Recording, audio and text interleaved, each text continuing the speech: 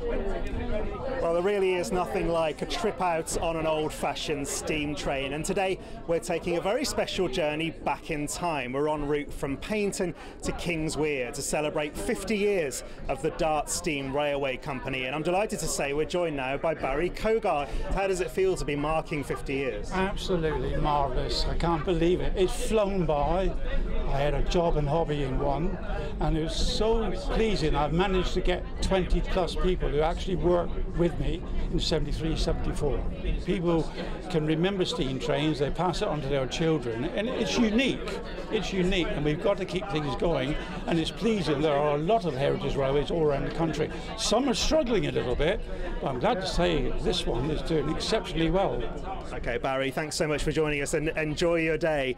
Well, there's all sorts of fascinating people on board today, and I've been catching up with some of them who have really interesting stories to tell about their family connections to the railway going all the way back to 1973.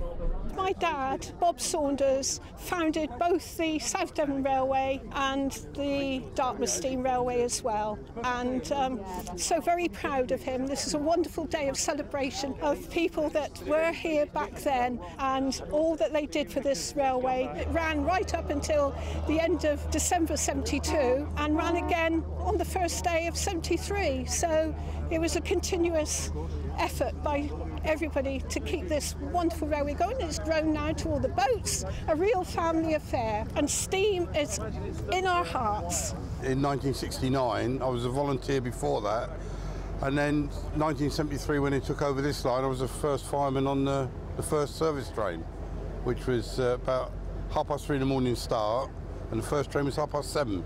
It's just fantastic. And what makes it so special is the company itself. And it's fantastic that it's lasted so long and please God another 50 years as well. Well, it's been a thoroughly enjoyable day taking a trip through sunny South Devon and down memory lane. And all thanks to the power of steam. Sam Blackledge, ITV News.